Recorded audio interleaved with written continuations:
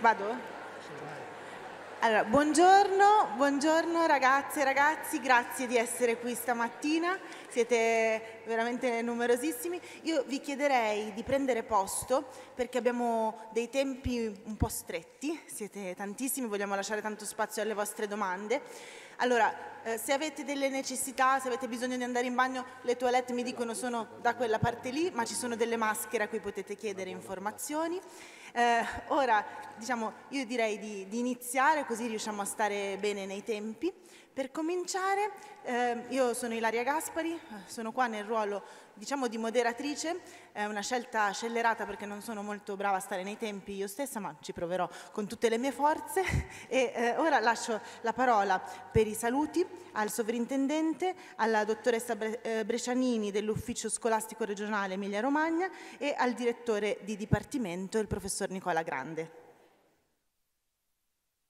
Buongiorno a tutti, benvenuti, Io sono sovrintendente di questo bellissimo teatro che vi ospita, questo è il Teatro Manzoni, la sala principale è il Teatro Comunale in Piazza Verdi, che adesso è in lavoro di ristrutturazione, abbiamo una sede provvisoria molto interessante anche dal punto di vista un po' ingegneristico e architettonico, una sala provvisoria in Piazza della Costituzione all'ingresso della fiera. Noi facciamo ordinariamente musica, purché ci occupiamo di un aspetto molto legato ai sentimenti, all'arte, alla trasposizione, ma la, la, musica accompagna molto la vita di tutti voi, di tutti noi in diversi momenti, quelli più seri, quelli più, più di svago e noi affrontiamo un po' tutto questo aspetto con, con grande gioia e con, con, grande passione. Per cui benvenuti, grazie al professor Dionigi che ha pensato di ospitarvi in, in, questa sede. Io sono veramente molto felice di questa presenza di Monsignor Ravasi e di, tutti voi, per cui bu- buona giornata e buon lavoro a tutti. Grazie.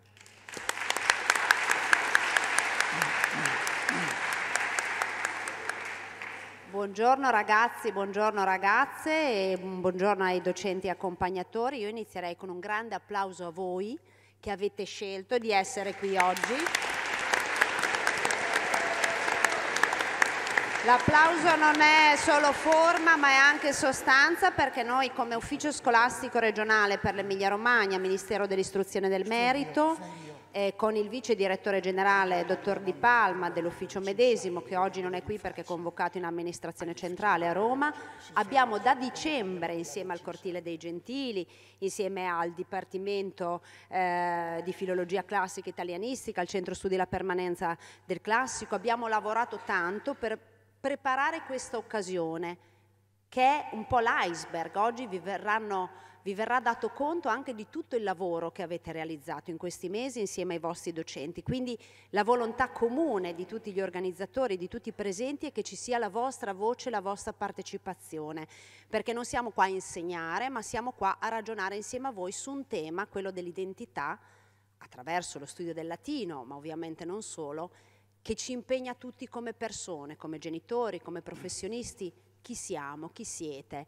È davvero un impegno importante e speriamo che il tempo, che sarà scandito in maniera anche eh, molto precisa proprio per garantirvi lo spazio, dia la possibilità di rispondere ai tanti quesiti. Quindi davvero un grazie a chi ha organizzato, a chi ci ospita e come scuola non possiamo che applaudire iniziative di questo, di questo tipo che ci consentono di riflettere, non solo di produrre. Nell'augurio di un buon lavoro siamo in ascolto. Grazie.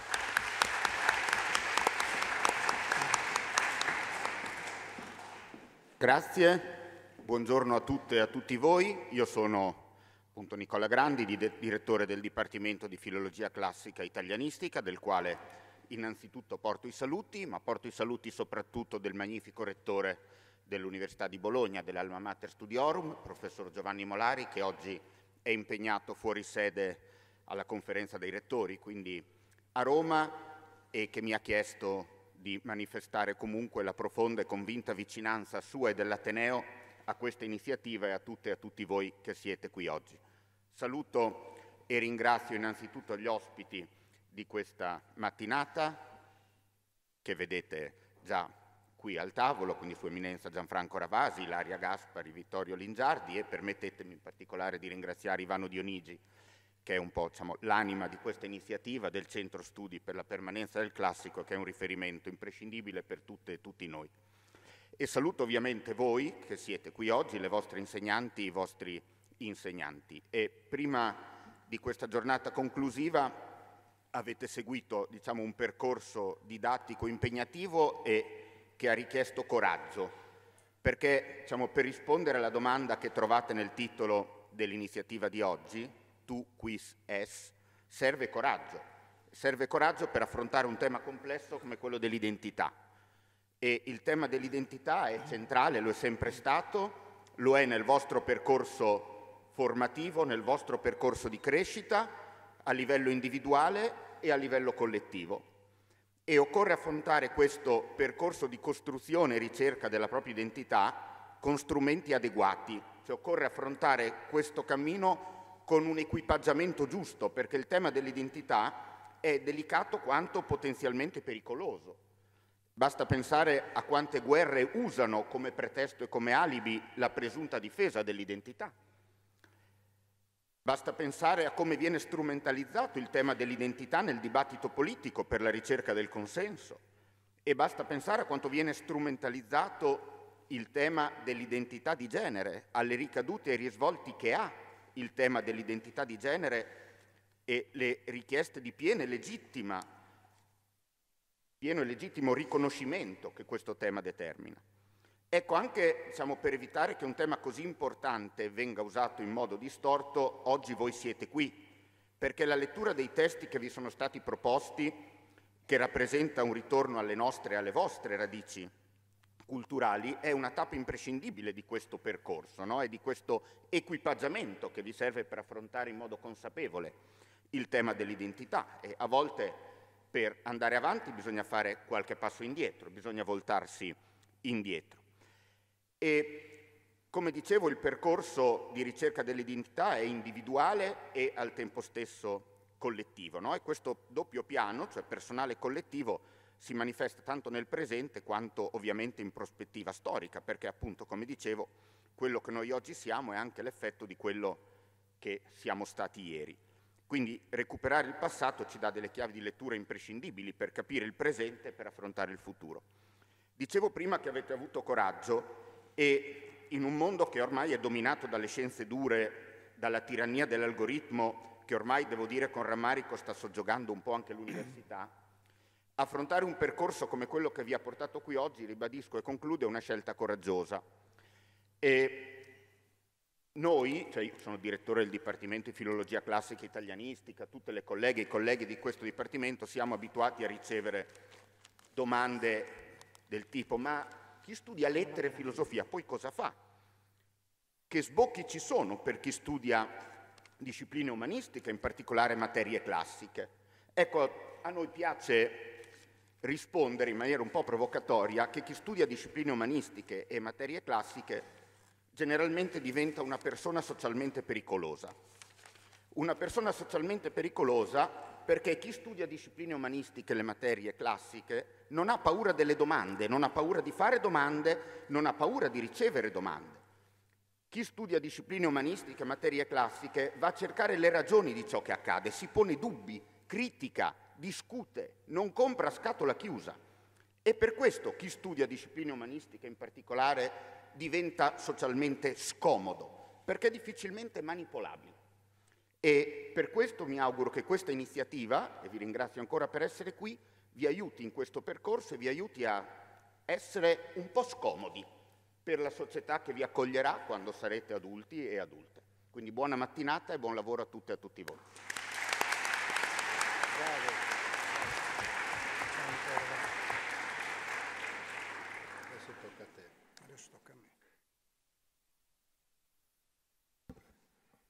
Benissimo, ora lasciamo la parola al professor Dionigi.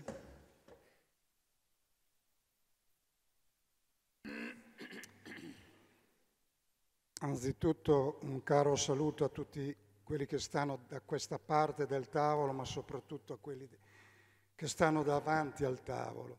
Allora questa iniziativa per rendere giustizia anche alla Genesi è nata un, per idea del Cardinale Ravasi lui presiede questa istituzione, il Cortile dei Gentili, inaugurato a Bologna nel 2012, poi trasferitosi, l'anteprima a Bologna, poi a Parigi, e ogni anno lui percorre l'Italia all'estero fissando un tema, ora la giustizia, ora la, la, la, fede. Ora...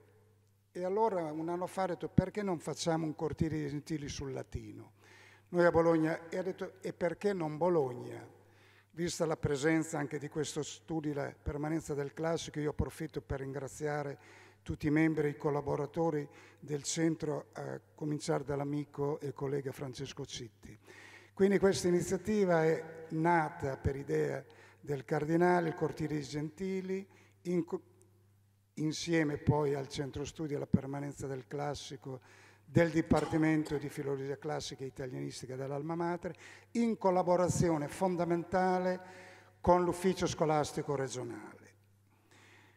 Voi stamattina siete 762 più i 40 accompagnatori, ci sono qui presenti oltre 800 persone, quindi il grazie va a tanti, soprattutto però dopo mesi di percorso io direi che il grazie va a voi perché siete qui, perché farete l'università, merito dei genitori, merito di, mer- soprattutto io ritengo che sia merito dei vostri professori e delle vostre professoresse. Allora per dare un là a questo incontro l'applauso ora lo fate a loro, va bene?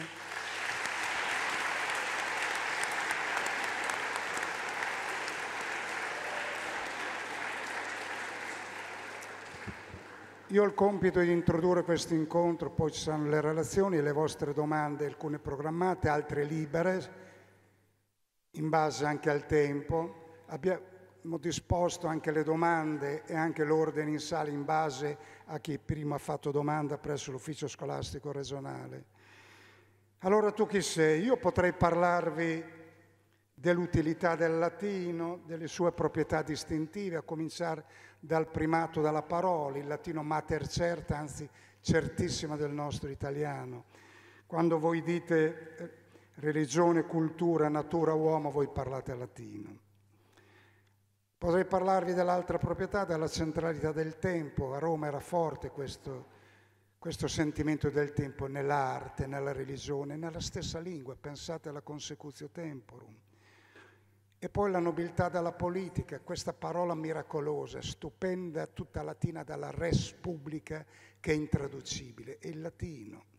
Io potrei parlarvi di un autore cristiano, Basilio di Cesarea, che l'amico Cardinale Ravasi conosce molto bene, lo cita spesso, il quale alla fine del IV secolo scrive proprio un discorso ai giovani, nel quale invita i suoi giovani nipoti a studiare i classici come modello sia per la vita intellettuale che per la vita pratica.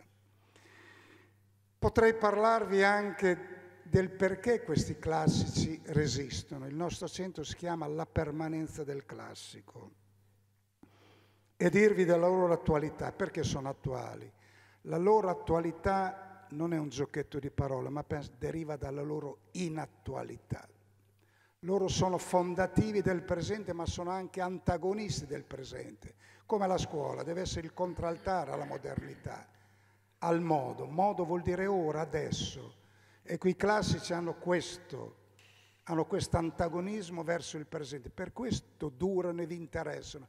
Il giornale che uno guarda, o l'iPad o la cosa, già la sera è superato, questo un page che scorre, scorre, tutto scorre, vero?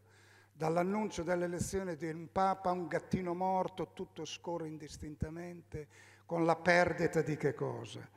La perdita del tempo, è vero, la perdita del tempo.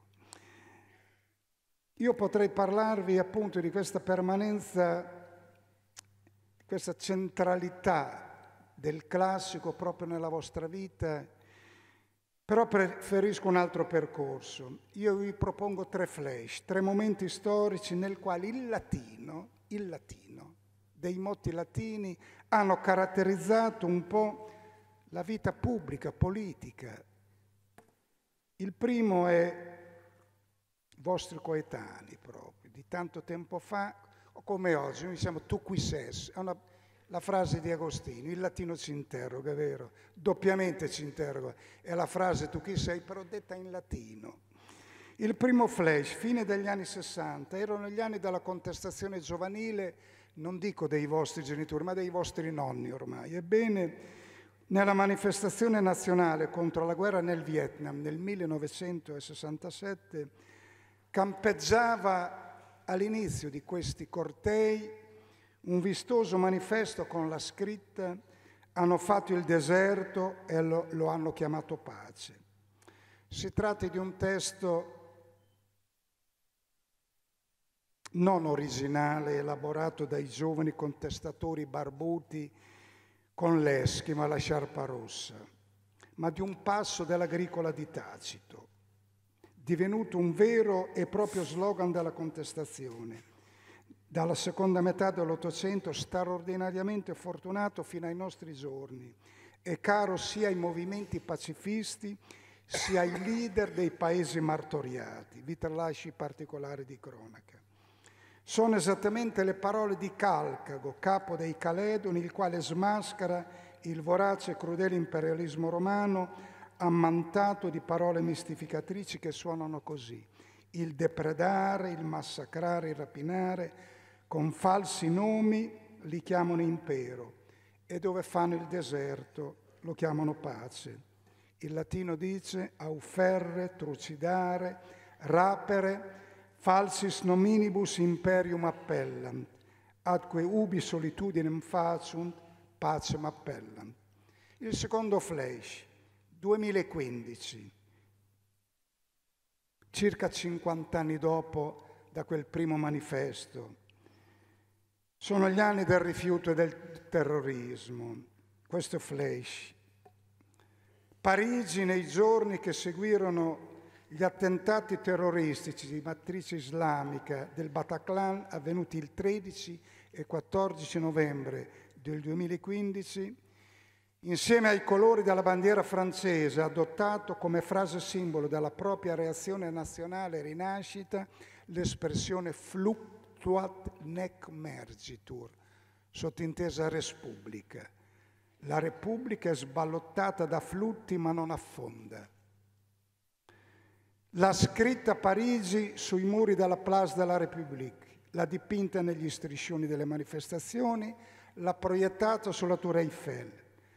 La Francia, sconvolta in quelle ore drammatiche, non ha citato né i suoi grandi saggisti, né gli autori dei lumi, né i suoi più recenti nuovi filosofi. Si è invece affidata a quello che era il motto della città fin dalle sue origini, 1358 il parallelo nave Repubblica, sconquasso dalla nave, disordine della patria, immagine allegoria di evidente derivazione oraziana. Nave, altre onde ti porteranno in mare. O navis, referent in mare tenovi flutus. Orazio a sua volta imitava il poeta Alceo e non era stato Sofocle nell'Antigona a ricordarci per bocca del Recreonte che la patria si salva solo se naviga diritta e salda. Ebbene, per riprendersi la vita, Parigi si è affidata alle parole e alla mediazione sia al medium del latino, di una lingua morta, fluctuat nec mergitur. Quelle parole, fluctuat nec mergitur, come capite bene, hanno fatto un lungo viaggio in compagnia della cultura e della storia remota e recente d'Europa, dalla Grecia arcaica ad Alceo, Orazio, Roma, alla Roma imperiale, alla Roma alto medievale, il motto parigino, alla Parigi dei vari secoli, dalle origini alle banlieue, le aree periferiche dei grandi agglomerati urbani, quasi a segnare la comunanza del destino tra i trapassati e i nascituri. Il terzo flash è quello di oggi. È quello che vede un po' lo smarrimento, come è stato detto bene già da qualcuno, è vero, siamo nell'era dell'ipertrofia dei mezzi e dell'atrofia dei fini, alla ricerca un po' tutti, non solo voi, anche noi, anche quelli che hanno i capelli bianchi quando li hanno, dalla ricerca di sé, dalla conoscenza di sé. E voi avete avuto mesi fa anche questi test che vi possono aver aiutati, potrete continuare a esaminare questa domanda Nella massima conosci te stesso, Gnozzi Sautone, vera apposta sul frontone del tempio di Apollo in Delfi, fin dall'antichità si è voluto vedere il richiamo ora alla potenziale grandezza dell'uomo, ora alla sua miseria. Cicerone interpreta quel principio come un segno, l'uomo è un contenitore quasi vaso, è quasi un vaso di un animo divino, interpretazione platonica. Seneca anche lui dice, cos'è quella domanda, conosci te stesso? C'è un segno che noi siamo un vaso fragile, un vaso debole, nudo, privo di difese naturali, esposto agli oltraggi della fortuna. Tu chi sei? Sei un vaso un qual- che contiene qualcosa di divino, l'esegesta Cicerone, un vaso fragilissimo, interpretazione platonica quella di Cicerone, più stoica quella di Seneca. Due concezioni che troviamo congiunte, qui mi correggerà il cardinale, nel Salmo 8. Davvero l'uomo lo hai fatto poco meno di un Dio, però lo hai chiamato Adam, polvere di suolo. Ma attenzione, mentre Seneca pone la domanda impersonale filosofica, quid est homo, che cos'è l'uomo? Come dicono i filosofi, la quiddità, eh? Agostino pone la domanda personale esistenziale, tu chi sei? Tu, tu, tu chi sei? Tu Veronica, Lavinia, Laura, Ginevra, tu Matteo, Fabio, Alessandro, tu, tu, tu chi sei? La stessa domanda che poneva Socrate ai cittadini di Atene, Socrate io me lo immagino come uno stalker interrogante, vero? Che girava per Atene e fermava tu chi sei, tu cosa fai, tu, tu. Ebbene, è la stessa domanda che noi ci poniamo oggi.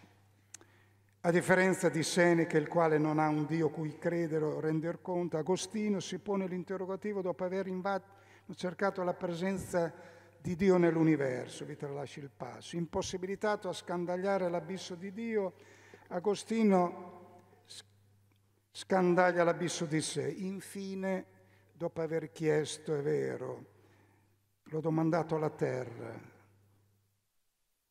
l'ho domandato al mare, l'ho domandato al vento, non sono io il tuo Dio, non ma allora tu chi sei? Tu, tu chi sei? Rivolta all'uomo, è vero?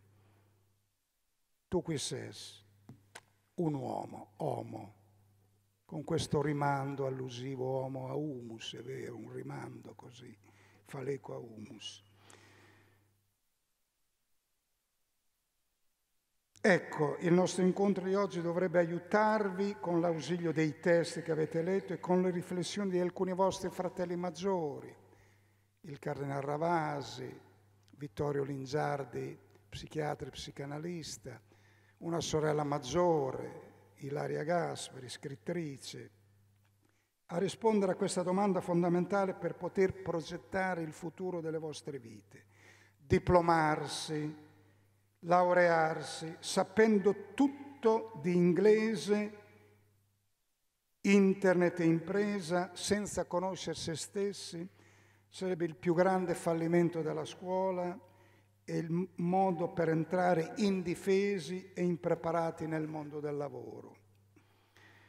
Per vivere bene, o meglio, per non vivere male almeno, dobbiamo sapere chi siamo, la conoscenza, non solo cosa sappiamo fare, la competenza.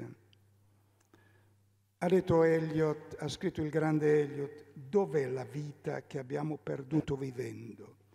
Dov'è la sapienza che abbiamo perduto nella conoscenza? Dov'è la conoscenza che abbiamo perduto nell'informazione? Voi capite bene allora che ci sono quattro livelli. C'è il livello primo dell'informazione, c'è un livello secondo della conoscenza, c'è un terzo livello della sapienza e poi c'è il quarto livello che ci interessa tutti più da vicino e per cui siamo oggi qui, c'è il livello della vita. Grazie e buon lavoro a tutti noi.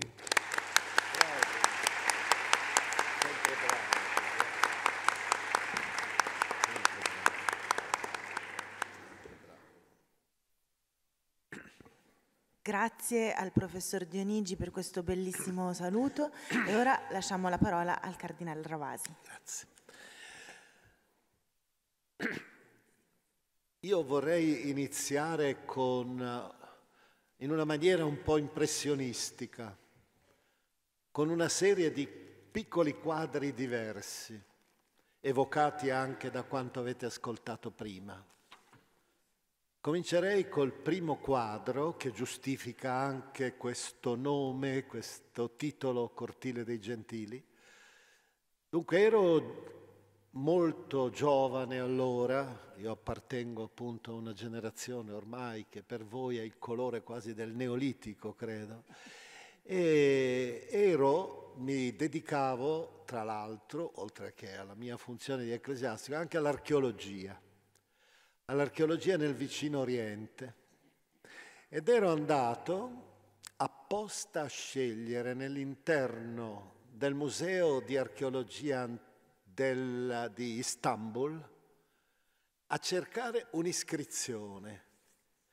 Le guide non me la sapevano indicare. Ho dovuto io cercarla e l'ho trovata finalmente.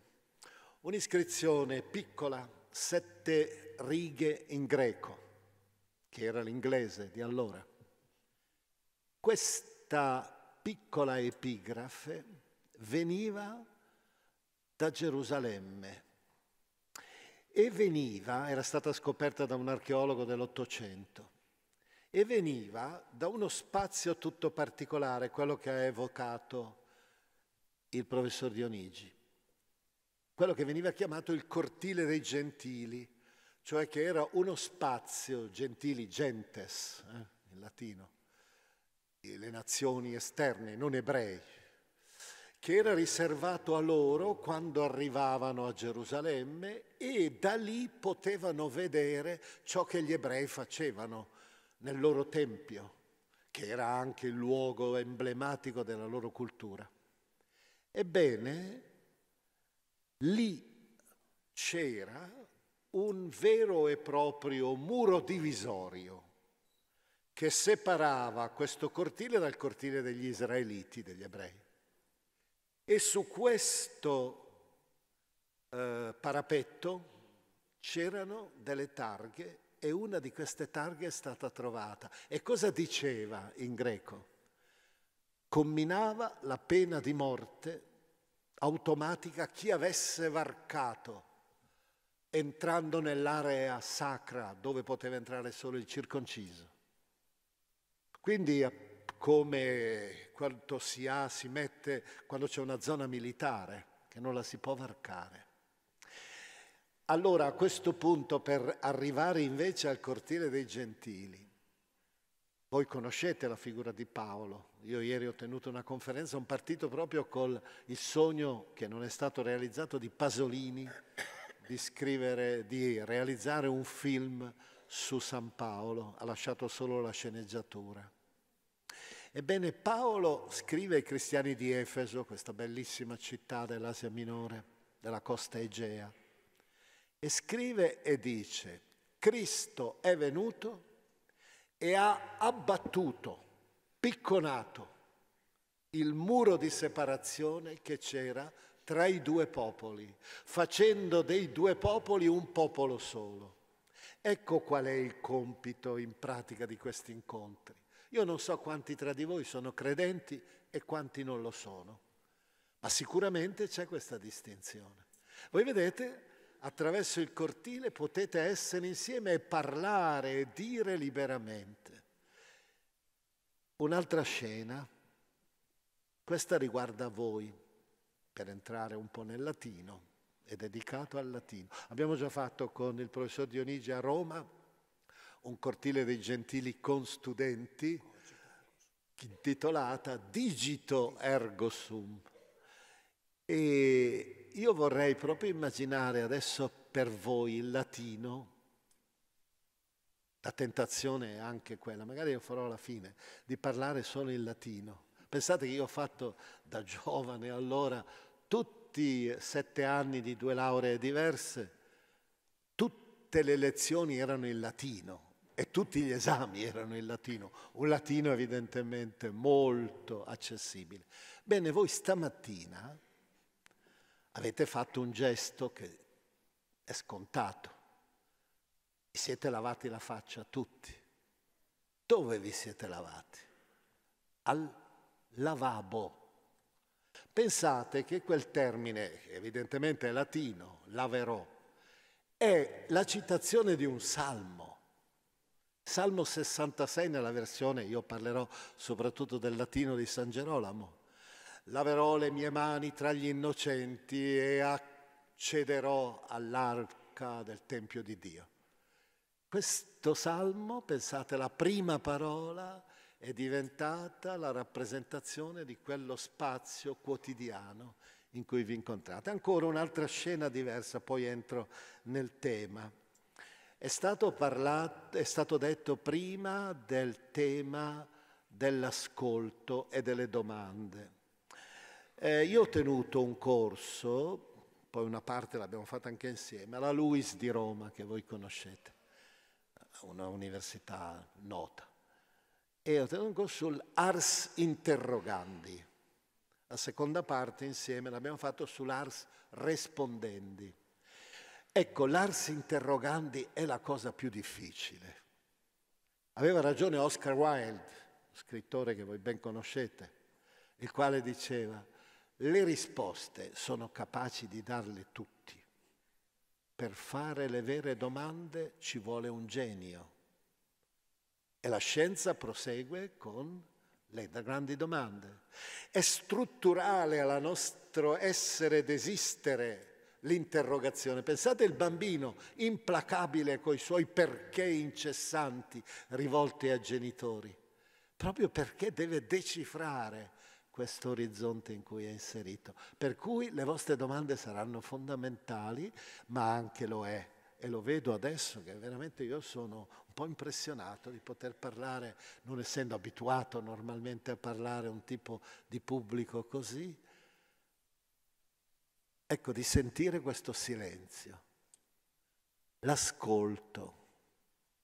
E pensate che nella lingua della Bibbia ascoltare è un verbo solo che dice anche obbedire, cioè uno se ascolta veramente aderisce. E soprattutto voi sapete bene, qui stiamo sempre nel latino derivato, quando voi dovete dire che è qualcosa che è assolutamente insensata, che non ha significato, cosa dite? Che è una realtà assurda, che vuol dire surda, eh? sorda. L'incapacità di ascoltare crea l'assurdità. Ecco, basta perché potrei proseguire ancora, anzi voglio fare già adesso un augurio a tutti voi perché tra un po' di anni, anzi pochi per voi, eh, saremo colleghi. Perché io ho avuto l'onore, e lo ripeto sempre, l'ho detto anche ieri sera parlando a San Petronio, ho avuto l'onore di avere la laurea honoris causa laurea un po' particolare, però una laurea pur sempre, all'Università di Bologna. E quindi tra poco molti di voi saranno appunto miei ideali colleghi in questo percorso. Detto questo arriviamo al tema. E il tema naturalmente io lo devo fare dal punto di vista del testo sacro, grande codice della nostra cultura, la Bibbia fondamentalmente. Ebbene, la domanda, la domanda che era stata posta è quella di Agostino. Tu qui ses. Nell'interno della prima pagina, della prime pagine della Bibbia, c'è la stessa domanda. Io adesso userò un po' il latino perché è la traduzione di Gerolamo, che è stato il grande traduttore geniale della Bibbia. La domanda è, ubi es dove sei? Nell'originale ebraico è un solo termine, ayekah. E da chi viene rivolto questo termine? Se volete, il pregresso è questo, sentitelo in latino. Abscondit se Adam et uxor eius a face domini Dei. Vedete, si erano nascosti e perché si erano nascoste? Qui c'è un tema che naturalmente potrebbe sviluppare in maniera molto più nobile e alta il professor Lingiardi. Perché erano nudi. E e Rubeshebant avevano vergogna. Prima, poche righe prima, si dice che erano nudi e non Erubeshebant. Vedete questa differenza? Quando tu sei la nudità e la rappresentazione dell'essenzialità radicale della persona, dell'esistenza, quando tu sei sereno, sicuro, dentro di te non c'è il rimorso, pensate anche questa parola come significativa, qualcosa che ti artiglia, tu stai nudo, non hai bisogno di costruire ipocritamente dei mantelli di difesa. Quando invece sei arrivato a quel punto, tu ti nascondi, hai bisogno del vestito, stare nascosto e senti quella domanda. Dove sei? Una domanda che ti snida dalla tua falsa protezione. E a questo punto, allora, vorrei indicarvi solo tre elementi per rispondere a questa domanda. E li troviamo nell'interno di due pagine iniziali della Bibbia che voi tutti conoscete anche se non siete credenti, anche se non l'avete mai letti, perché è talmente famoso, sono talmente famose queste due pagine, capitolo secondo e terzo della Genesi. E vorrei evocare questi tre elementi. Primo, come si chiamano, questo lo sapete tutti, come si chiamano i due protagonisti di quella storia? In realtà si tratta di una eziologia, cioè risalire mm, alle origini per individuare il filo conduttore, il fiume della vita che arriva fino a noi. Li sapete i due nomi, vero? Uno è Adamo, voi dite, e l'altro è Eva. Ebbene, non è vero, perché nell'originale non sono nomi propri, ma sono nomi comuni. Per esempio, Adamo è, nell'originale, A Adam, che è con l'articolo A. E Adam cosa vuol dire? Colui che ha il color ocra rossiccio della terra, dell'argilla, la materialità.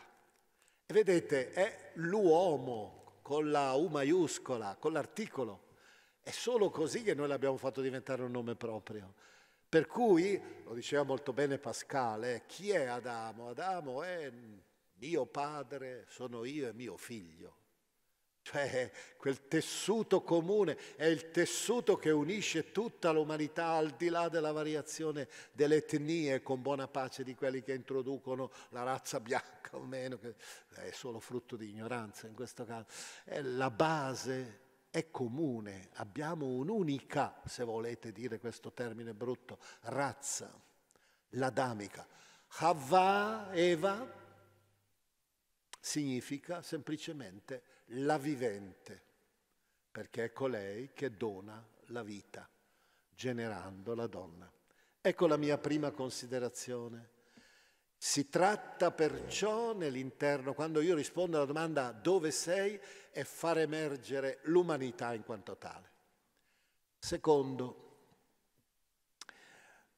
qual è l'elemento fondamentale che descrive questo questi due, che però abbiamo detto sono due categorie, è un elemento che è fondamentale. Anche qui credo che in sintonia, anche se non, non, non ci siamo conosciuti ieri sera col professor Lingiardi, ma penso anche con tutti quanti voi stessi, l'elemento fondamentale che definisce la persona, almeno stando nella grande cultura classica e nella grande cultura biblica anche, è la relazione. La persona umana di sua natura è un essere ad. È un filosofo del secolo, sì, che è appena morto, non tanto tempo fa, tre anni fa, Nancy francese, diceva da, da Cartesio in avanti abbiamo continuato a ripetere ego sum, cogito, er, ego sum, ergo sum, ego sum. Dobbiamo più spesso invece cominciare a coniugare ego cum, io sono con l'altro. E le relazioni sono di tre tipi in quella pagina, vengono rappresentate in tre tipi, che io vi evoco soltanto. Primo è, ve lo dico in latino, la traduzione da poi vi correggerò anche un po' la traduzione.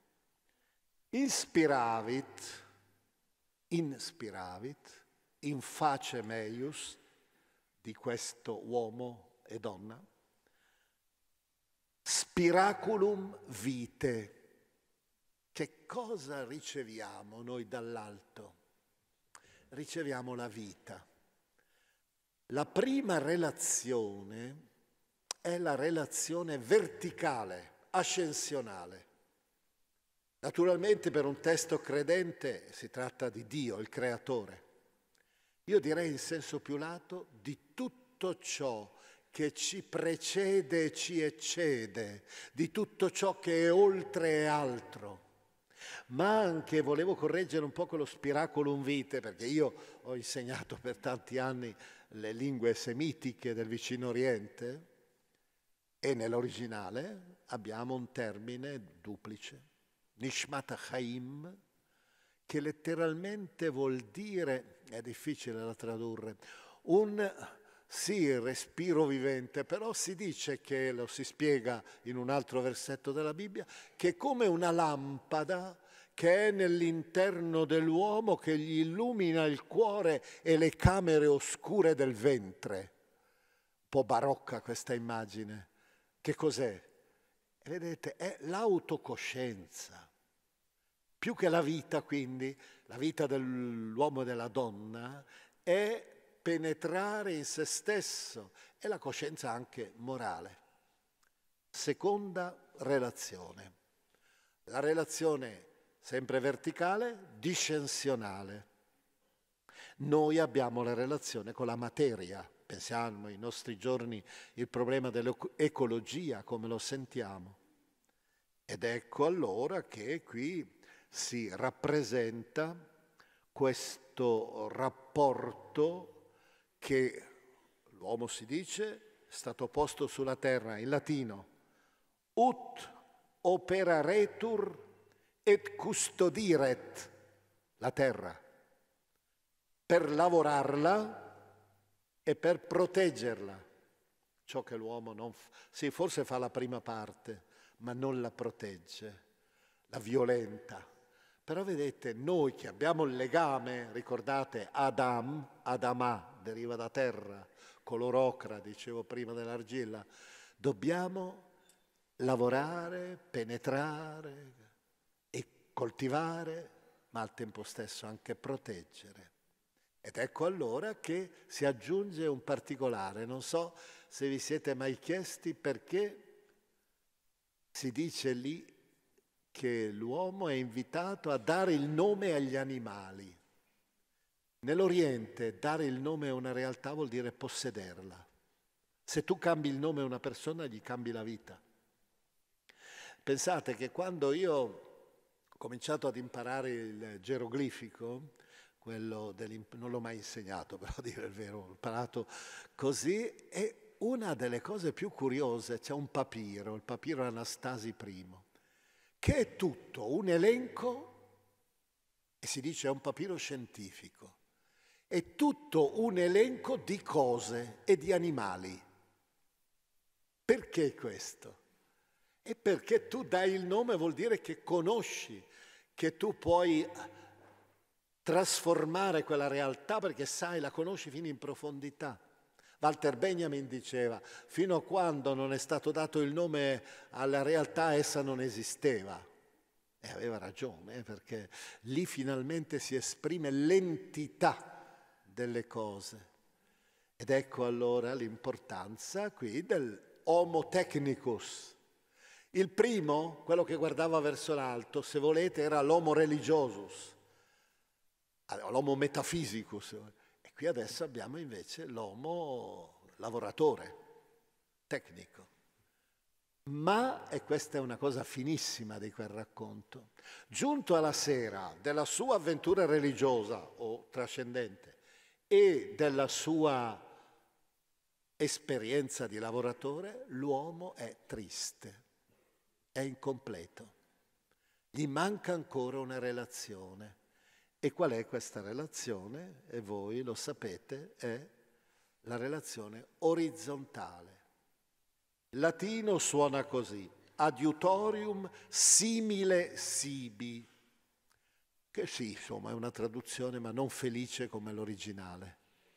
Sapete cosa c'è nell'originale? E poi capirete subito che cosa vuol dire anche l'esperienza dell'incontrare l'altro uomo-donna. Nell'originale ebraico abbiamo kenegdo. Ho bisogno di un altro che sia come di fronte a sé, come di fronte a me gli occhi negli occhi. Ed è per questo, qui ancora cito Pascal, perché mi viene in mente adesso come uno dei filosofi tra i più suggestivi su questo, diceva, nella fede come nell'amore, i silenzi sono molto più eloquenti delle parole. Quando due innamorati veri hanno esaurito tutte le parole che si dicono, che si ripetono spesso, che cosa fanno? si guardano negli occhi e tacciono. Io eh, l'altro ieri, nei giorni scorsi, stavo, dovevo preparare un, un articolo per commemorare i cento anni della morte di Kafka. È un autore che veramente una vertigine leggere Kafka e capirlo anche. E stavo leggendo le lettere a Milena voi sapete che lui ha avuto tre donne in maniera particolare che l'hanno conquistato, ma una è stato il suo amore assoluto. Due anni soltanto, ma Milena Jesenska si chiamava. Ebbene, in una di queste lettere, stavo leggendo, ho trovato una frase curiosa. Iniziava così una lettera. Diceva, cara Milena, domenica avremo per noi stessi quattro o cinque ore, troppo poche per stare a parlare di tutto quello che è accaduto, sufficienti però per stringerci le mani, guardarci negli occhi e stare in silenzio. Eh, capite cosa vuol dire? È veramente quando si è innamorati e non c'è più, i eh, silenzi sono più eloquenti delle parole, non devi più dire. E allora a questo punto finalmente l'ominizzazione, usiamo questo termine, è avvenuta in maniera completa. Noi la relazione piena l'abbiamo ed ecco allora che c'è quel primo grande canto d'amore quello che verrà ripetuto in mille volte, in mille forme diverse, in mille lingue, tutte le volte che voi avete incontrato la donna che amate in quel momento o l'uomo che avete amato. Poi magari sarà la storia, cambierà, ma comunque in quel momento e il canto, ve lo dico in latino, provate a sentirlo, che cosa dice quando ha trovato la donna, Havva Adam, lei è os de ossibus meis, caro de carne mea. Chiaro, eh? La costola famosa, sulla quale si è fatta tanta ironia antifemminista, è una stupidità, perché in realtà in ebraico è il lato, vuol dire cioè che di, è analoga a te, è a lato, in maniera piena. E qui c'è Gerolamo che riesce a fare una cosa che nessuna traduzione nelle altre lingue può fare. In ebraico sì, naturalmente, perché è l'originale. Sapete, tradurre è sempre un'impresa piuttosto ardua. Diceva Cervantes, è come guardare ogni traduzione come il rovescio di un arazzo. L'arazzo lo guardate davanti, con tutte le sue scene perfette, i colori, provate a guardarlo dietro tutta una fila, i fili che cadono, le figure si intuiscono a fatica. Ebbene, in ebraico c'è questo. Come si chiama lei? Beh, si deve, certo, lì siamo in una cultura maschilista, evidente, però come si dice uomo? Abbiamo detto, Adam non è propriamente l'umanità, nel senso, uomo maschio, in ebraico si dice Ish. Come si chiamerà lei? Isha, il femminile. E come si fa? Noi di solito, se andate a vedere sulla Bibbia, la si chiamerà donna perché è stata tratta dall'uomo. E cosa vuol dire questo? Vuol dire niente. Invece Gerolamo è stato abile e ha detto la si chiamerà virago perché da vir è stata tratta, per indicare questa parità fondamentale che purtroppo è ininterrottamente violata, umiliata in tutte le forme, non c'è bisogno che di dire come, e la Bibbia su questo è, presenta più di una volta anche lo stupro, per esempio. C'è una storia, se andate a vedere la storia di Tamar, provate ad andarla a vedere, o la storia di Dina, veramente ter- quella di Tamar per me è la più forte, se la troverete nel secondo libro di Samuele, perché è l'analisi del passaggio dall'amore all'odio. L'amore viscerale che però non era un amore vero. Eh? Quando l'hai posseduta, violentandola, poi dopo ti dà fastidio. E questo è, pensiamo, anche la sonata Kreutzer di Tolstoi, eh, questa luce. Io concludo con l'ultimo punto. L'ultimo elemento che voglio considerare è questo sempre parlando di quella pagina e della risposta dove sei e chi sei anche. Abbiamo visto, noi abbiamo questi nomi uguali, ci chiamiamo tutti nella stessa maniera, anche quelli che stanno approdando adesso dall'Africa, arrivando da noi, disperati, volti diversi. Ricordate Levinas, forse l'avrete sentito, tutto è, si costruisce sull'io, tu e sul volto e un altro filosofo contemporaneo suo, Ricoeur, francese, diceva che è stato citato anche prima indirettamente da Dionigi, quello che diceva è viviamo in un'epoca in cui alla bulimia dei mezzi corrisponde l'anoressia dei fini. Quanti mezzi di tecnologia abbiamo? Ma l'anoressia dei fini. Ebbene, lui eh, diceva, ma no, non solo io, tu, ma anche il terzo quello che tu non conoscerai mai, che non vedrai mai.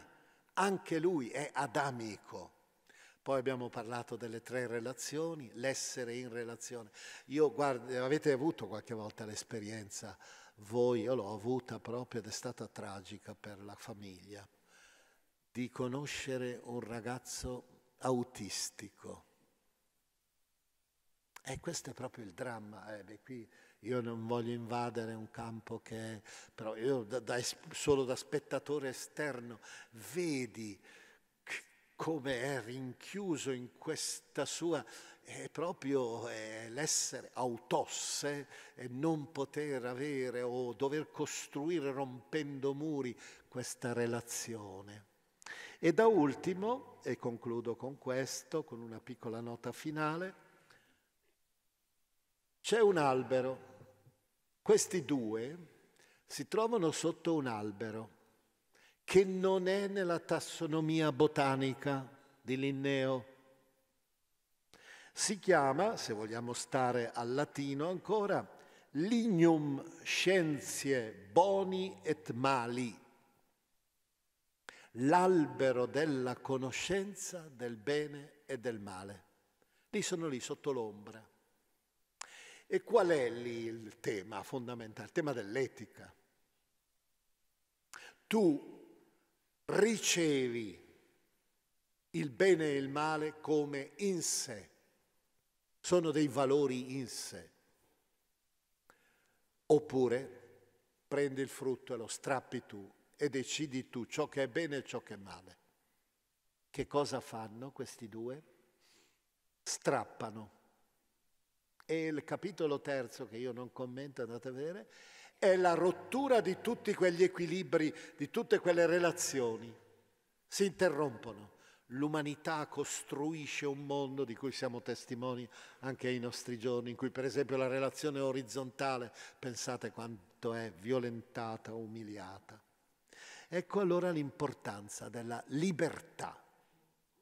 Questa è una caratteristica della cultura ebraico-cristiana antica, anche della classicità, ma in una maniera molto marcata, perché per esempio in altre culture c'è il determinismo, eh, per esempio eh, nell'accadico, un'altra lingua che, di cui mi sono interessato, è il dio Kingu, che è il, eh, il dio che viene costruito dal dio del bene e del male, ha nel sangue, dentro di sé, ha un principio del dio negativo, per cui non può fare che il male non è libero di decidere bene o male, di scegliere di ricevere il frutto, di ricevere la verità, la verità che è in sé e che tu conquisti e fai diventare soggettiva, ma in sé oggettiva. Vedi il Fedro di Platone, eh? la pianura della verità dove col, ca- col cocchio, col carro della verità tu corri continuando a scoprire nuovi orizzonti, la ricerca. E questo in verità non, non è più. E allora ecco che entra un tema che qui meriterebbe tutta una riflessione a sé, che è fondamentale, e che io ve la enuncio soltanto con un binomio che diventa un trinomio. Il binomio lo conoscete tutti, è uno dei capolavori della letteratura. Delitto e castigo, Dostoevsky. Ebbene, nella visione che noi abbiamo, questa visione che avrei dovuto approfondire di più, abbiamo invece un trinomio. Delitto, castigo, perdono la possibilità di ricominciare. Ed è in questa luce che allora, e io ho finito, poi sentirò anche che cosa voi in più potrete aggiungere, dopo questa definizione sulla creazione, la decreazione e la ricreazione, sono un po' la logica dei primi capitoli della Genesi, io vorrei finire ancora, cito per la terza volta perché mi viene in mente per caso stamattina, Pascal, il quale si interessa molto del tema della colpa, del tema del limite, della finitudine e della colpevolezza. Ebbene, lui ha un dialogo straordinario eh, nei pensieri. Dio parla all'anima, alla persona. Se tu veramente conoscessi i tuoi peccati, le tue colpe, non fossi così banale, superficiale, tu ti dispereresti. E allora l'anima cosa dice, la persona?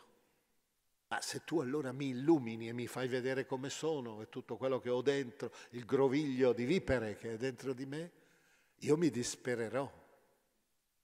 Ed ecco la risposta, provate un po' a sentirla perché è un gioco di parole ma suggestivo. Dio gli risponde e dice no, che è finora delitto castigo, eh? tu non ti dispererai perché le tue colpe ti saranno rivelate nel momento stesso in cui ti saranno perdonate.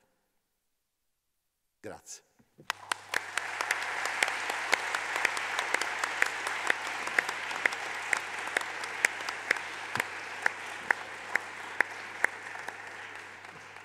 Scusate i tecnici, potete dar più luce in sale sopra, perché non è giusto che voi ci vedete e noi vi, ci dobbiamo guardare negli occhi, ecco, così mi piace. Allora, grazie al Cardinale Ravasi per questo viaggio meraviglioso dentro le parole. Io penso che la, di questa lezione stupenda che ha ci ha affascinati tutti, abbiamo sentito tutti il vostro silenzio concentrato, che se ora è il momento di iniziare a romperlo con le vostre domande, peraltro un'informazione tecnica, c'è qua un microfono dove se volete, insomma chi vuole porre le proprie domande può venire, c'è anche un filo molto lungo però per cui le maschere possono, se alzate la mano, avvicinarvelo. Se invece voi che siete sopra, in cima, avete qualche domanda da fare, eh, purtroppo vi tocca venire giù, quindi se volete intanto iniziate a scendere, intanto io dico giusto due parole su questo bellissimo intervento che abbiamo appena ascoltato. Penso che uno dei punti più forti di questo intervento sia stato il dimostrarci quanto sono vive le parole, quanto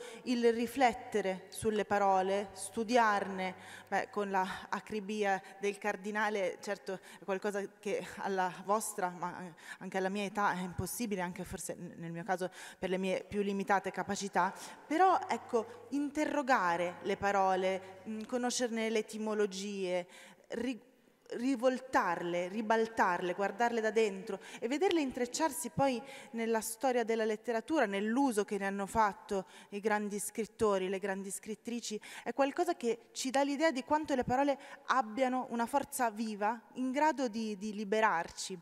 Uh, c'è una poetessa austriaca del Novecento, Ingeborg Bachmann, che io amo molto, che ha scritto delle poesie meravigliose sulla con, quello che significa l'esperienza del vivere. Si è interrogata anche lei con questa domanda antica da cui stiamo partendo oggi.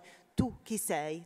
Tu chi sei se l'hai chiesto? E se l'hai chiesto e ha risposto in molti modi, con molte declinazioni, oscillando fra la disperazione e la speranza e citando spessissimo moltissime fonti. E una volta in un'intervista le chiesero ma che senso ha tutto questo citazionismo, tutte queste parole, questi nomi che tu nascondi dentro le parole che usi, questi riferimenti che sono nascosti? E lei ha detto, in realtà per me non esistono le citazioni, esistono dei passi che mi hanno emozionata una volta e sono entrati dentro di me, quindi quelle parole sono entrate a far parte del mio lessico.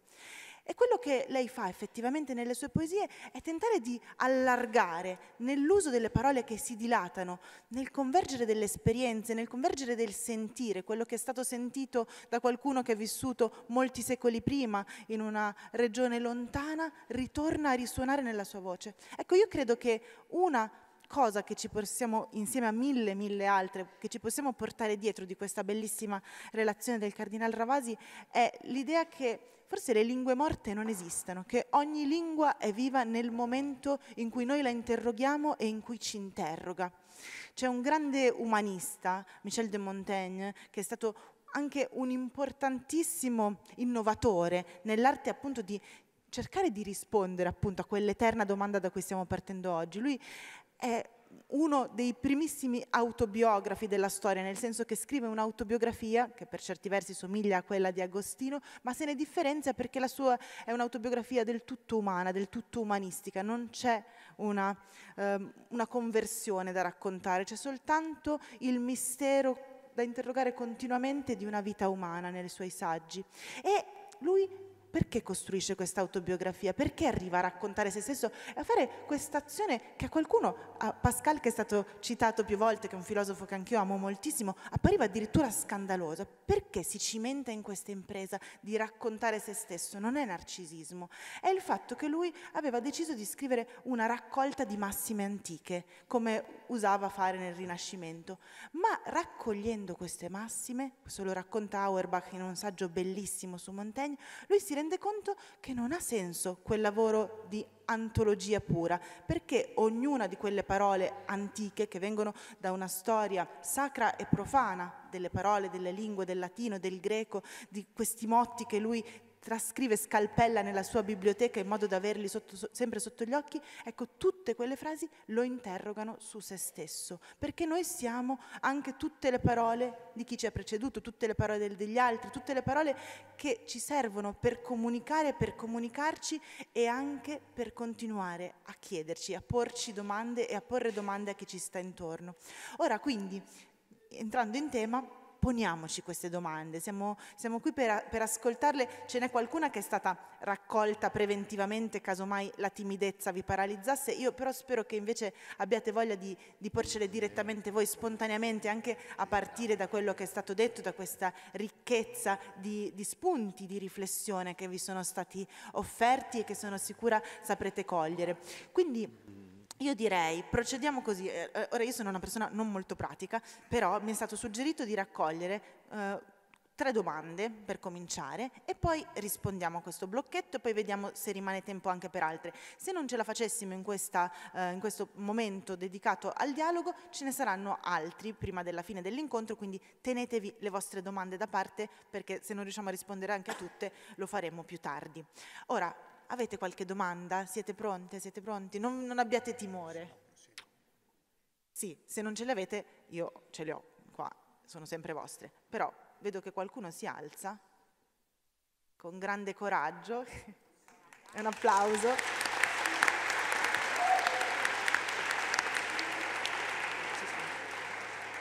Allora, intanto buongiorno e grazie di ciò che avete detto.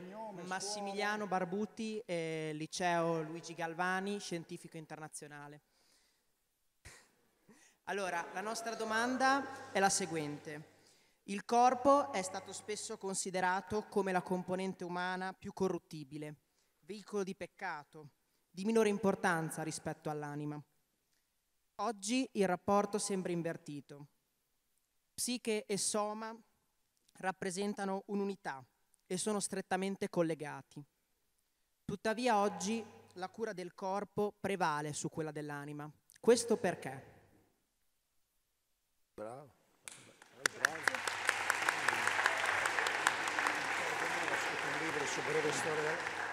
Direi che la domanda proprio non ci poteva essere interlocutiva bella per la radicalità proprio lì, una domanda assoluta e hai la fortuna di, oltre così alla svariati decadi di libri che ha letto il Cardinale Ravasi, io recentemente così mi ha fatto dono di un suo libro, non recente, ma rivisto, una breve storia dell'anima, breve storia sono 300 pagine, quindi dove proprio affronta anche questo problema. Quindi su questo tema del corpo e dell'anima e credo che il cardinale possa risponderti nel modo migliore. Senz'altro, raccogliamo magari un altro paio di domande, annotiamo questa bellissima domanda. C'è qualcun altro che vuole chiedere qualcosa?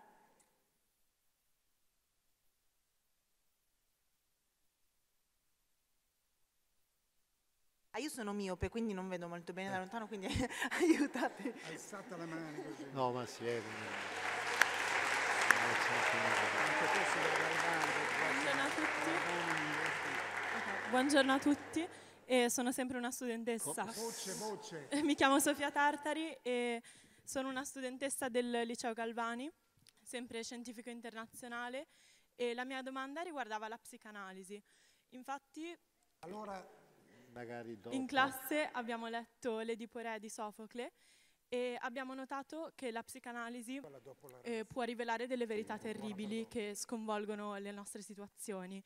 E come può succedere e quando, prendendo sempre come esempio ovviamente l'Edipo Re di, di Sofocle. Grazie mille.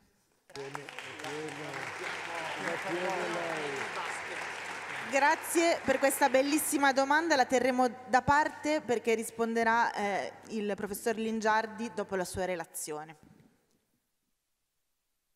Buongiorno, eh, sono Stefano Marraffa, studente eh, del liceo classico Ariosto di Ferrara. E adesso dico la domanda. Ecco. Ci troviamo in uno stato di fragilità esistenziale, ammorbati da una pigrizia che limita il pensiero e l'azione, lasciandoci un margine di autonomia esiguo.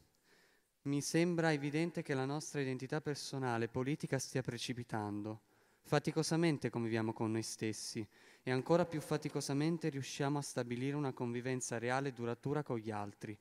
Stare soli con se stessi, in mancanza di distrazioni e stimoli esterni, diventa intollerabile e al contempo anche le situazioni di socialità, manchevoli di un senso di comunità e condivisione, diventano opprimenti. In assenza di una generale serenità, cerchiamo di nutrirci di brevi e piacevoli esperienze, senza domandarci se sia giusto essere destinati a una corsa incessante. Pur essendo consapevoli di questa situazione, eh, ne, all- ne allontaniamo le evidenze, come se questa appartenesse ad altri e non a noi, così da poter liquidare qualsiasi tentativo di analisi del problema. Come riscattarci da questa condizione eh, ridondante della nostra storia umana, ma all'apparenza senza soluzione? Quali potrebbero essere strumenti adatti a prendere coscienza di se stessi e a conoscersi nel mondo odierno? Grazie.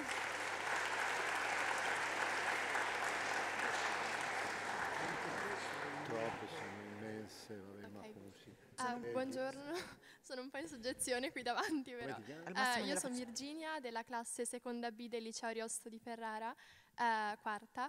E mm, intanto ne approfitto per ringraziarvi e mm, ovviamente ogni vostra parola, come detto dal professor Dionigi, mi aiuterà a capire chi sono. E, ma per sapere chi siamo, quindi tu qui sesta appunto, è necessario sapere come siamo stati creati. Alla luce del suo scritto, Cardinale Ravasi, eh, il libro della Genesi, eh, come ha detto, il creatore in lui ha posto un sigillo divino. L'uomo infatti è l'immagine di Dio nella sua capacità generativa e viene all'esistenza grazie a un ritirarsi di Dio. Cosa intende per viene all'esistenza grazie a un ritirarsi di Dio? Della, Eh, ritirarsi di Dio. della gra- eh, non, si capisce la frase. Ah, scusi, eh, cosa intende per viene all'esistenza grazie a un ritirarsi di Dio? Una grazia di Dio. Vabbè, A un ritirarsi. Ritirarsi di Dio. Ritirarsi di Dio. la grazia. Eh? Ah, un ritirarsi. È un ritirarsi. Ah, vabbè, vabbè, perbacco. Brava. Eh, si parlano così.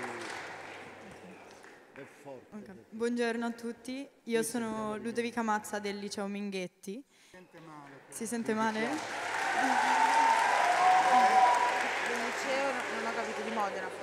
E tra, tra i documenti che c'erano allegati con eh, i vari testi da leggere, che insomma erano presi da autori latini, eh, leggendo l'epistola 1.11 di Orazio, eh, possiamo notare come la strenua inerzia di cui lui parla, che oggi forse potremmo definire eh, depressione, insomma, fosse una malattia già conosciuta al tempo dei Romani, tanto da essere identificata con una divinità, la dea Murcia. E l'influsso di questa divinità, che era una divinità minore, rendeva l'uomo murcidus, da cui l'aggettivo marcidus, poiché appunto si pensava che la depressione Noi qua non riusciamo a capire Forse proprio. bisogna che veni- qui noi non Dal riusciamo punto a di vista...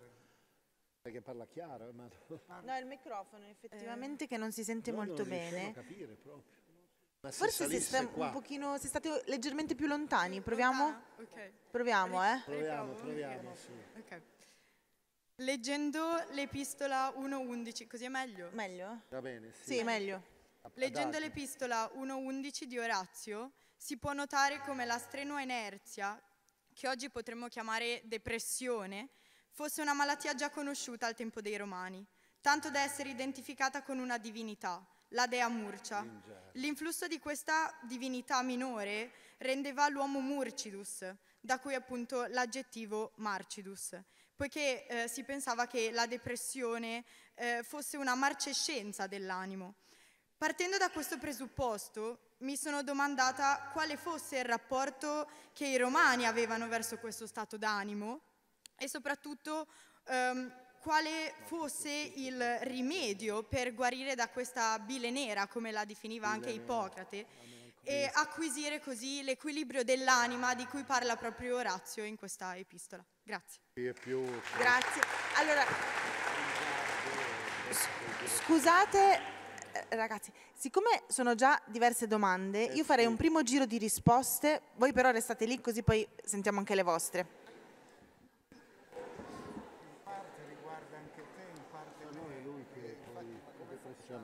Beh, cominciamo... Oh, sedetevi intanto. Eh sì, perché qui le hanno unite. No, però io prendo le mie, quelle che sono... perché alcune saranno destinate al professor Lingiardi. Per esempio l'ultima naturalmente sulla depressione. Vediamo un po' di... Eh, la prima domanda. La prima domanda è effettivamente, come diceva giustamente eh, il professor Dionigi, io ho scritto un libro intero sulla questione anima. Allora diciamo, per non affrontare tutto l'orizzonte complesso, partiamo soltanto da due dati. Primo, se noi fossimo solo eredi della tradizione giudaico-cristiana, quella biblica, saremmo più vicini a una certa, non completa, sensibilità attuale, perché nell'interno dell'antropologia, di quell'antropologia, in pratica l'anima non esiste, è irrilevante, è l'essere intero umano che viene considerato. Tant'è vero che il termine che di solito poi i traduttori greci, ecco il problema della traduzione della Bibbia, i 70, Girolamo, e cercano di tradurre questo termine con psiche o con anima. In realtà in ebraico abbiamo nefesh. Allora vi spiego che cos'è nefesh con una curiosità, sperando di non dover fare in questo caso un po' il, ancora il mio passato. Io non, ho detto, non ho mai insegnato il geroglifico, però un po' lo conosco, quello almeno, no, quello del, di un periodo soltanto. Quando si deve rappresentare questa trilogia, perché di solito si parte da tre consonanti, NFR, vediamo se qualcuno di voi riesce a ricostruire un nome egiziano che voi tutti conoscete. Nefertiti, la bellissima. Nefer, come il segno grafico, è una trachea e polmoni. Questo è il segno grafico, stilizzato, ma è una trachea e i polmoni. Il che vuol dire che la concezione del nefesh, nefer la, nefesh, è l'esistere, l'esistente, che è bello anche, la vita e così via. Allora in questo caso, come vedete, ancora una volta viene messo insieme la totalità dell'essere. Io ho detto che questa è la concezione anche tendenzialmente contemporanea, ma tu hai fatto notare molto bene che però nella contemporaneità l'unità ha sbalestrato l'accento sulla corporeità, sul corpo. Ed ecco allora una concezione della persona, anima e corpo, che è tutta spostata sulla corporeità, che effettivamente conquista. Io farò un esempio adesso tratto dal mondo delle neuroscienze una delle discipline più affascinanti, devo dire. Io non, non sono specialmente, ma mi interesso per curiosità come amateur. Voi pensate in questo momento, immaginate la vostra scatola cranica, scatola cranica che contiene di cervello 130-180 grammi, irrilevante, materia ma che cosa conteniamo noi qui dentro? Dagli 80 ai 100 miliardi di neuroni. Per cui aveva ragione la sapienza greca quando diceva anthropos micros cosmos. La galassia nostra, la Via Lattea, è composta da un centinaio di miliardi di stelle. Noi abbiamo. Ecco allora la grande tentazione, quale? Di ridurre tutto alla dimensione fisica. E io capisco anche questo fascino. Adesso io non entro però nel discorso più complesso che dovrebbe invece esaltare e sviluppare, perché ho detto bisogna fare una conferenza su questo, perché se no si fanno luoghi comuni. La cultura greca, che tu hai evocato bene sinteticamente, la cultura classica, tendenzialmente ha posto invece in dialettica, in contrasto, la psiche e il soma, l'anima e il corpo, a differenza del nefesh famoso di prima e a differenza anche della cultura attuale che è tutto sposto sul soma. Ecco perché allora la cultura greca, Platone soprattutto, eh, esalta l'anima. E l'anima è questa dimensione che non è riducibile al puro fisicalismo. Aristotele è già un po' più furbo su questo, perché usa, dice sì, è vero che è così, però ha bisogno del soma per potersi esprimere questa dimensione spirituale. Ecco, io ho evocato soltanto vedi, i termini di un problema. E qui adesso bisognerebbe affrontarlo. Sta di fatto comunque che aveva ragione quello scrittore tedesco il quale diceva andato, aveva incontrato i, degli indigeni della Michael Ende si chiamava, quello della storia infinita. Aveva incontrato degli indigeni in, uh, in Brasile e questi gli avevano detto, avevano cominciato a imparare un po' tutta la tecnologia moderna, con tutto quello che comporta. E cosa, aveva, cosa avevano risposto a un certo momento a lui le sue domande? Dice, ma noi siamo corsi troppo avanti con queste cose, abbiamo bisogno di fermarci per far sì che le nostre anime ci raggiungano. Le abbiamo lasciate indietro. Vedete, c'era la consapevolezza che solo la materialità non abbiamo bisogno di riprendere. Altra domanda, brevemente questa, beh anche questa era sulla fragilità esistenziale che genera una crisi sociale. Io scelgo solo un elemento che è stato detto in questo discorso, e altro che sulla fragilità. Ha posto l'accento, chi di voi ha fatto questa domanda, sulla questione della solitudine eh, proprio perché siamo così fragili, la società contemporanea risulta così confusa ed ecco allora la forte tentazione alla fine di ridursi alla solitudine. Ecco, io direi che bisogna distinguere, ecco qui, come diceva giustamente bene Ilaria, eh, sulle parole. Distinguere, noi poi abbiamo una lingua bellissima come la nostra, è l'italiano, distinguere tra isolamento e solitudine. L'isolamento è una maledizione. Nabokov diceva è il campo di gioco di Satana, la disperazione. Pensate un po' cosa accade anche in questo momento in un condominio di Bologna, soprattutto la domenica.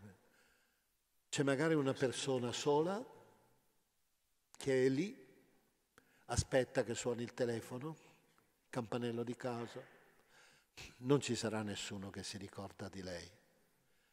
Giorgio Caproni, un poeta, ha rappresentato proprio questa persona davanti a una parete, da sola, coi suoi torti e le sue ragioni, a parlare ai morti. Questo è l'isolamento e nella, abbiamo una folla di solitudini nelle città tante volte e ne accorgo anch'io. Io quando ero giovane prete andavo a Milano, a Roma, mentre ero studente, nella periferia di Roma, Torpignattara, era proprio abbandonata, e andavo tutte le volte a portare la comunione perché lo voleva signora, un signore anziano. Però arrivò un giorno in cui io eh, dovetti dire a lui, io ho finito i miei studi, io torno a Milano ormai. Non sarò più, non verrò più qui ogni domenica a trovarlo. Lui mi preparava il caffè. Non aveva nessuno, più nessuno questa persona. E lui mi ha detto una frase che io non ho mai dimenticato. Io pensavo, eh, ma è triste perché lei se ne va. Non... E lui mi ha detto invece, lei non sa cosa vuol dire non avere più nessuno da aspettare. Questo è l'isolamento non avere più nessuno da te. L'attesa, l'attesa è mirabile. Dall'altra parte la solitudine è invece, questa è necessaria, ricordavo prima anche un po' Kafka, ma la solitudine è la dieta dell'anima. E purtroppo voi giovani, eh, devo dire, eh, abituarsi a creare un'oasi qualche volta di silenzio, un'oasi in cui si è soli con se stessi. Terza e ultima considerazione, beh, questa che però non la, con, non la approfondisco, ma è molto curioso quello che è stato proposto a proposito di Dio crea l'uomo a sua immagine. Notate bene che l'immagine, qual è l'immagine? È il maschio, come dirà la tradizione giudaica e anche Paolo, successiva, no. Dio creò l'uomo a sua immagine, a immagine di Dio li creò, maschio e femmina li creò. Cioè la capacità d'amore generativa, la vera immagine, la vera statua di Dio. È per questo che sono importanti nell'antico Oriente le genealogie, perché è come se fosse la rappresentazione di Dio che continua a manifestarsi, ma sono l'uomo e la donna che generano. E qui naturalmente la generazione intesa nel senso più ampio possibile, non solo quello fisico. Ma tu hai detto, chi ha detto questa domanda, è, ha parlato del ritirarsi di Dio. Questo è vero, eh? c'è una tesi che è molto famosa nella tradizione giudaica che si chiama dello Tzimtzum, che vuol dire proprio il ritrarsi. Hölderlin diceva, quando Dio crea fa come gli oceani coi continenti gli oceani si ritirano e lasciano emergere i continenti. Dio in un certo senso infinito ed eterno si ritrae per lasciare spazio all'umanità ed è per questo che l'uomo e la donna sono liberi, non sono come le stelle, non hanno leggi meccaniche.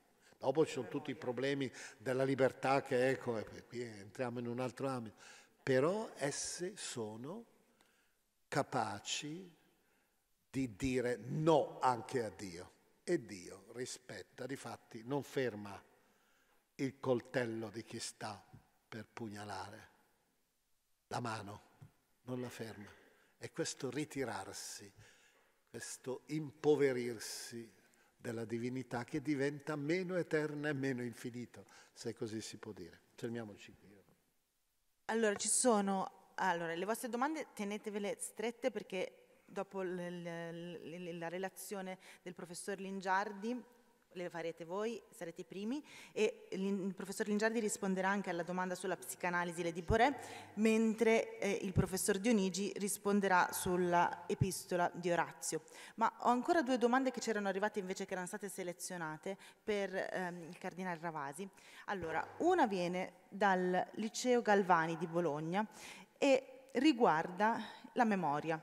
Il tempo delle opere non è il tempo finito della scrittura, bensì il tempo infinito. Lo spazio letterario è la memoria degli uomini.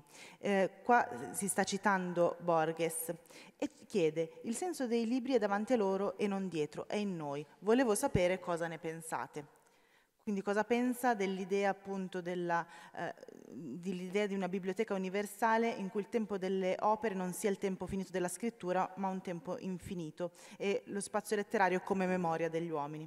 Ultima domanda, dal liceo Muratori di Modena, in un mondo sempre più fondato sull'apparenza, in cui la sentenza di Seneca, quantum abuit fuit, si è quanto si ha, è presa alla lettera, in una società che giudica tutto sulla base del valore materiale, esistono luoghi, attività che ci ricordano la bellezza del volere spirituale e ci aiutano a conoscere noi stessi, non mostrandoci ma scoprendoci? E poi dopo... Sì, Finite. No, io risponderò, non risponderò in pratica, dirò soltanto due battute. Per quanto parto dalla seconda, la bellezza, ecco, lasciamo stare, mettiamo una moratoria una volta per sempre a quella frase di Dostoevsky che la bellezza salverà il mondo.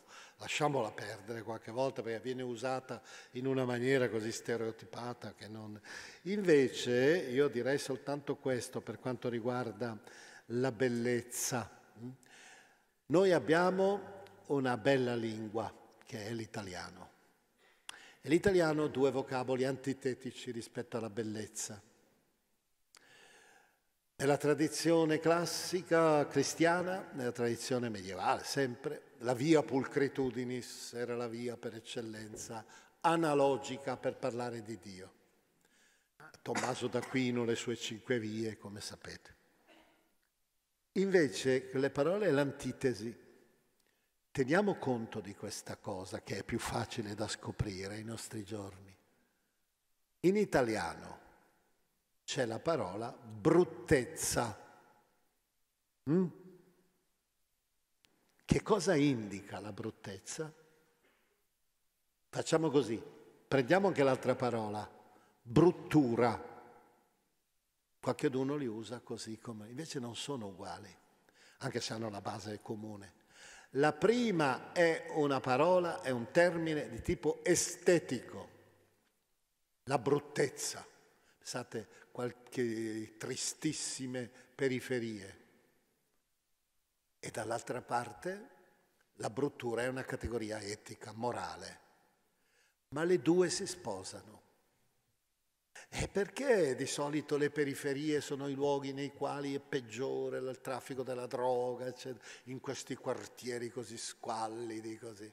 E purtroppo c'è questa specie, una persona che comincia a lasciarsi andare, esteticamente anche se volete, tendenzialmente poi dopo anche perde la dimensione orale. È importante quella la grande classicità, qui sempre col latino, tre stelle nel cielo, il verum, la verità, il bonum, il pulcrum. La verità, il pensiero, l'etica, la morale, l'estetica. Tutte e tre sono insieme, sono una costellazione. E l'altra invece, beh, l'altra è proprio veramente una cosa molto sofisticata, questa sul tema della memoria e la memoria letteraria sono contento che qui uno non so chi ha elaborato questa domanda, mi piacerebbe perché ha citato Borges. È un autore che io amo tanto, ma anche in una maniera motivata, perché io sono stato amico, ho avuto contatti frequenti con la moglie, Maria Kodama, la moglie di Borges, la quale si interessava sempre in tutte le conferenze che abbiamo fatto in Argentina insieme, sempre sul tema della mistica di Borges. Lo considerava un mistico quasi. Ebbene, ecco, credo che la memoria, io qui ritornerei ancora alla categoria come la categoria eh, tradizionale, classica della memoria, il memoriale, eh, a partire dalla Bibbia per esempio, e la memoria non è mai soltanto affacciarsi al passato, ma è contemporaneamente guardare il passato vedendone i semi che permettono di comprendere il presente e di proiettarsi al futuro. È un po' quello che nel latino è il perfetto, o in greco meglio, è il perfetto. La possibilità, ecco, la vera memoria e purtroppo noi viviamo in un'epoca adesso che è totalmente smemorata e quindi non riesce a capire bene il presente, non ha tutta la strumentazione di questo passato nobile e forse andiamo un po' ciecamente verso il futuro.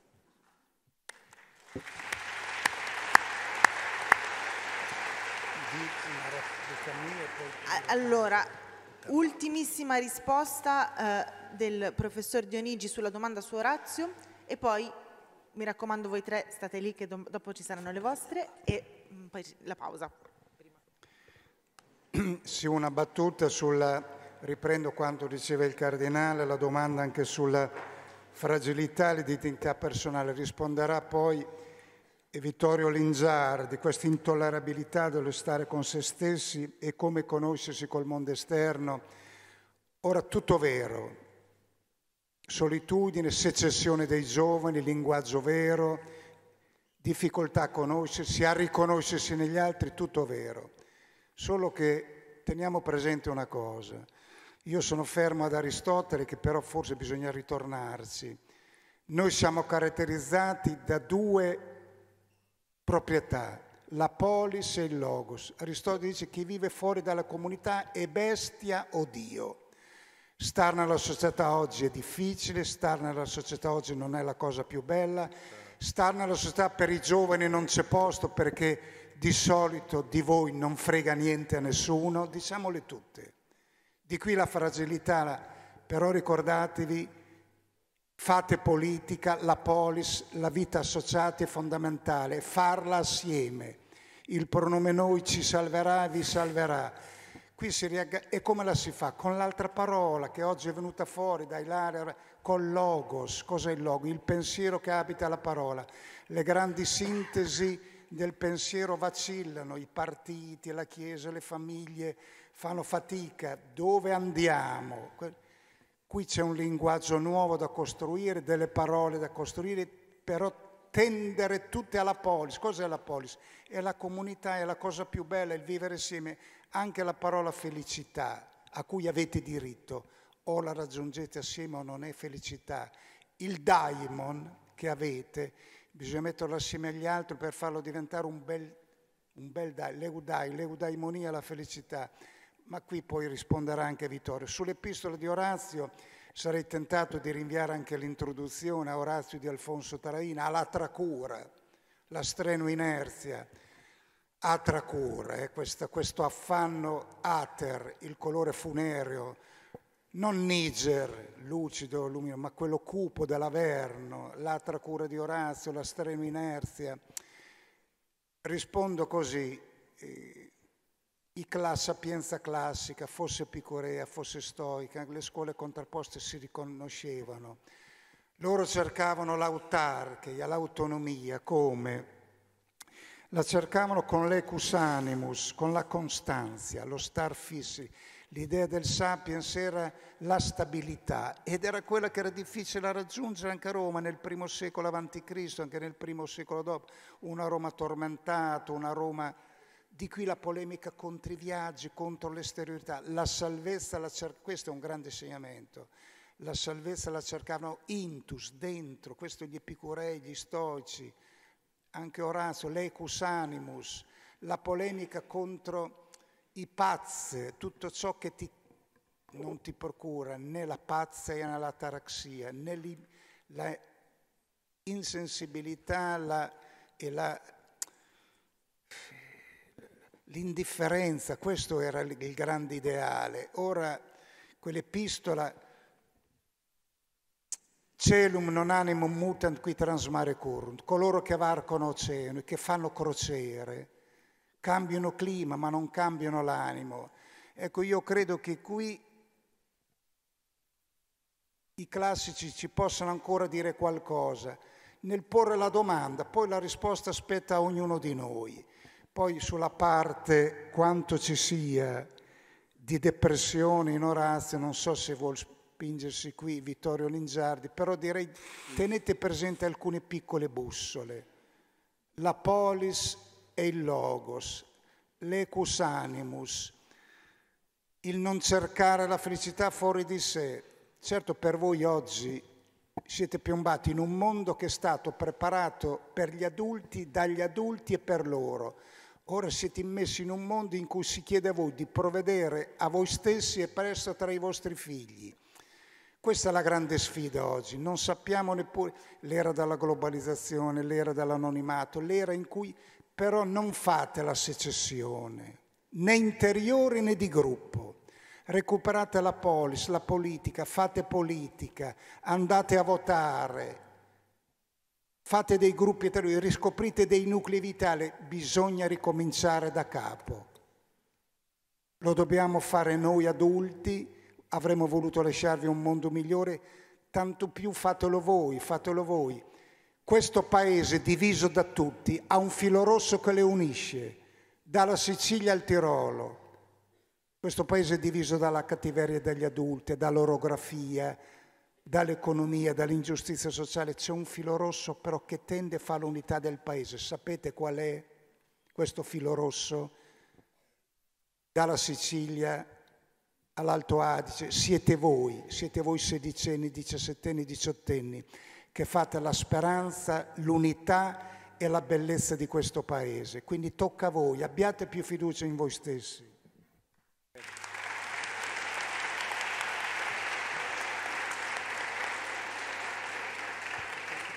Allora, è arrivato il momento della pausa, mi dicono, io sono una persona più inadatta come avete capito a gestire il tempo, però mi dicono di stare attenti che deve essere una breve pausa perché alle 11.15 dobbiamo riprendere per dare modo a tutti di fare le loro domande. Ci vediamo alle 11.15, grazie.